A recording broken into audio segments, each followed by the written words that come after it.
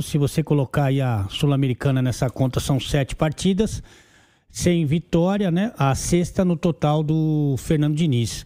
E sem jogar bem mais uma vez, hoje realmente muito prejudicado. A gente tem que fazer sempre essa ressalva pela expulsão, quase que antes de começar o jogo do Rafa Silva, né? É uma atitude é, impensada, que não tem justificativa. Isso prejudicou muito a estrutura do time. E a partir daí, a tentativa era de tentar se defender mesmo, de tentar segurar o máximo que pudesse o Furacão. É, mas de qualquer maneira, já jogando com um time reserva, com um jogador a menos desde o início do jogo. O Furacão, com a sua torcida enlouquecida para sair dessa situação e pode sair, inclusive, é, nessa rodada da zona do rebaixamento. Nesse momento, está saindo da zona do rebaixamento. Você vê a importância da vitória de um time que não ganhava há 11 rodadas, né?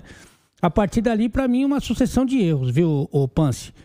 É, o primeiro deles, inacreditável para mim, é o Fernando Diniz falar no vestiário e voltar assim pro segundo tempo, tentando fazer aquela saída de jogo de dentro da área com um jogador a menos que os caras reserva. Tanto que o segundo gol que você comentou, que foi logo no início da segunda etapa, é, a gente tem a participação muito ruim do Jonathan Jesus, lá do Jonathan, o zagueiro de 20 anos, que talvez se tivesse ainda no Ceará, a bola veio para ele ali em situação de aperto, ele tivesse quebrado essa bola para ataque. Desse, desse, um bico para fora, desse um bico para onde tivesse virado. Mas não, tem que sair jogando. Tem que sair jogando. Tem que sair jogando. O que aconteceu? Perdeu a bola, o segundo gol do, do Furacão e para mim ali matou o jogo, né? O que a gente viu também foi uma tentativa do Fernando Diniz de colocar cinco titulares com as substituições no segundo tempo. Quando você me falava o que eu acho que devia fazer, devia poupar os caras, porque esse jogo já estava perdido. Como se mostrou perdido, entrou cinco titulares, sabe o que aconteceu? Tomou dois gols. Então é só um desgaste a mais desnecessário, porque esse jogo já estava perdido. Ah, então por que, que ele colocou os caras? Só para justificar que ele tentou. Então ele estava pensando nele, não estava pensando no, no Cruzeiro. Então essa condução toda foi muito ruim. É claro que é, seria muito difícil reverter um quadro negativo de inferioridade numérica desde o início, do início do jogo, mas você poderia ter um outro comportamento. De qualquer maneira, é, ficam saldos só negativos. Desgaste, desgaste é, do treinador e suas ideias com o elenco, é, desconfiança da torcida, falta de confiança dos jogadores, essa sequência negativa, é, um montão de, de, de, de coisa ruim que aconteceu pensando também no jogo de quarta-feira. Dá para reverter? Para mim dá para reverter muito. Mas dá para reverter muito, mas aí é preciso ter personalidade dos jogadores também, de se fecharem, independente do treinador, independente do treinador. Pessoal, é o seguinte, ele pode falar o que ele quiser lá. Vamos fazer do jeito que a gente sabe fazer, porque se os caras fizerem do jeito que eles sabem e podem fazer, o Cruzeiro pode ganhar do Lanús, sim. Mas com certeza que pode ganhar. Agora, se quiser jogar um jogo, esse jogo aí de, de, de ilusão que o treinador tá vendendo, aí vai ser mais uma vergonha, viu, Pance? Mas eu queria te perguntar uma coisa. Uma derrota dessa, da maneira que foi, 3 a 0 que é um placar um pouco mais elástico. Como que é a resposta imediata para quarta-feira, Ale? Porque todo mundo faz essa pergunta aqui. É, eu acho que vai depender muito dos líderes dessa equipe, né? Os jogadores mais experientes vão ter que chamar essa responsabilidade de conversar com o grupo. Acredito até que o treinador também, né?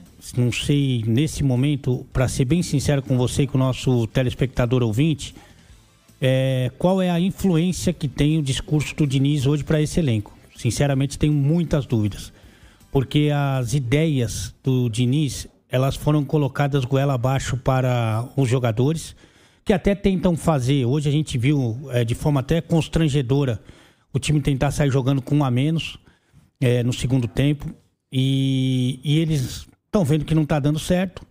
E eu não sei se nesse momento a, a palavra do Diniz tem muito peso, tem muita força, mas você tem jogadores ali é, de muita identificação, de muita história no clube, de muita experiência que podem ajudar. Que é o caso do Lucas Romero, que é o caso do Lucas Silva, por exemplo. O Cássio é um jogador que está é, chegando no Cruzeiro agora, mas é um cara que já viveu muita coisa no futebol. E o futebol tem essa vantagem, né? Que você tá a um jogo de sair do inferno para o céu.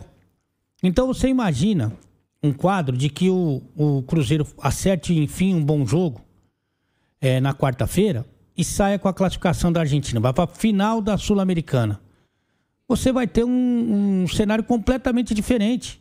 O time chegou à decisão de uma competição internacional, é, mesmo com tudo isso que está passando nesse momento, mas chegou numa decisão de competição é, internacional com possibilidades de ser campeão, de ganhar a vaga para Libertadores. E aí tudo muda, né? O cenário muda completamente. Então, o Cruzeiro e os seus jogadores têm essa possibilidade.